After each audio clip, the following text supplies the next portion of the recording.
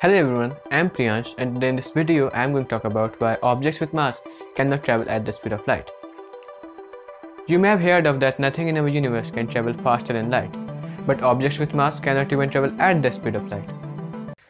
We all know that the faster something moves, the more kinetic energy it gains, from the classical equation for kinetic energy that's half mv square. But this equation for kinetic energy, so as most of the classical physics equations, are just an approximation. They work very well in slow velocities, but in high enough velocities, they do not work very well. This is true that the faster the moves, the more kinetic energy it gains, but how much kinetic energy it will gain is not correct in the classical equation. To understand the physics of high velocities, we take the help of Einstein's theory of special relativity. Special relativity was developed on the basis of two postulates. Those are physics works the same for all inertial observers or reference frames, and second, speed of light is same for every observer. The resulting theory gives all sorts of mind-bending predictions, and this theory helps understand the physics of high velocities. In the theory of special relativity, kinetic energy of an object is given by gamma times mass times the speed of light square minus mass times the speed of light square. Here, gamma refers to a special factor, Lorentz factor, this number that you can see on the screen. Okay, so now I am going to explain the fact that uh, why objects with mass cannot travel at the speed of light using the total energy equation in relativity. That is, total energy square equals momentum times the speed of light whole square plus mass times the speed of light square whole square. I can also show this using the kinetic energy equation, but this equation can tell us answer to some other questions as well, so I'm sticking with that equation. Okay, so here p is momentum, m is the object's rest mass, and c is the speed of light.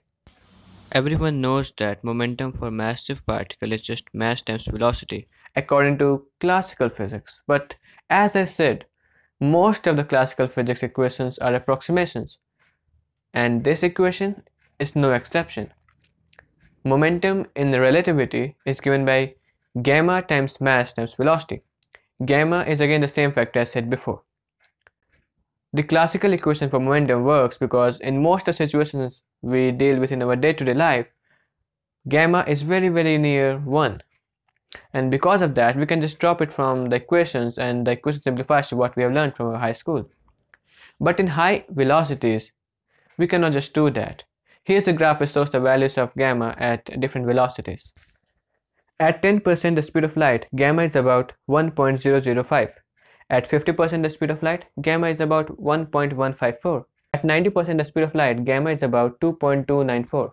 At 99% the speed of light, gamma is about 7.088.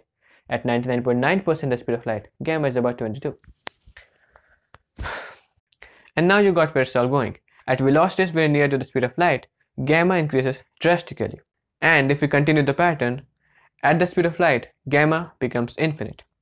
Thus, the energy of the object also goes infinite. The thing is that the whole observable universe has a finite amount of energy. We cannot just provide infinite amount of energy to the object. Thus, the object, or by extension anything with mass, cannot travel at the speed of light. Now, the obvious question that arises is that how can massless particles, for example light, can travel at the speed of light? And if you use the above noted equation, you may come across a wrong conclusion. You may think that, okay, light does not have mass, thus this term of the equation goes away. And also momentum is equals to mass times velocity times gamma. Thus this term also goes away. Thus light can travel at the speed of light because light do not have energy. Thus the energy do not go infinite. Thus there is no restrictions to the particle. Right? Wrong. The thing is that light do have energy. Energy of a single photon is given by Planck's constant times the frequency of that photon the flaw in our argument was that momentum for massless particle is not given by gamma times mass times velocity. This equation only works for massive objects. So, light do not have mass, so this term actually do go away. But if we rearrange this equation, we find that momentum equals energy over speed of light and energy of a single photon is just Planck's constant times the frequency and frequency over speed of light is just 1 over wavelength. So momentum of massless particle equals Planck's constant over its wavelength. So massless particle, in this case light, do contain energy and momentum which does not go infinite, so it they ca- so they can actually travel at the speed of light. Now, if you want to know more about why light always travel at the speed of light and why is it same for every observer, you can check out my earlier video about this same topic. The links are present in the description, the i button and the end cards of the video. Now a quick remark that I want to point out is that many of you would have heard of a different explanation of our question, the one with respect to relativistic mass going infinite and not the energy. The thing is that it is not wrong to use this explanation until you know what you are actually talking about. The thing is that relativistic mass is just gamma times the rest mass. In the relativity, total energy also equals to gamma times mass times the speed of light square. So if you accept the relativistic mass idea, total energy equals relativistic mass which is just gamma times the rest mass times the speed of light square. But the thing to remember is that relativistic mass is not actually mass. That means you cannot use the relativistic mass to calculate the gravitational force of an object. This is true that as something moves, it creates more gravity because but not because of the increased mass but because of the increased energy because energy also curves space-time. But the curvature would not be like how mass curves it. Now if you want to learn more about relativistic mass i have linked down several sources that you can refer. Do check them out. Now at last the last thing that I want to point out is that many of you would have heard of particle physics saying that mass of particle increases the faster they move in particle accelerators.